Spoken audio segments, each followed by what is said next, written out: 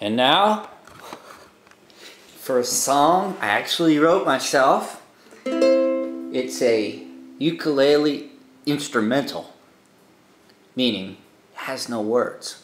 But I call it Summertime.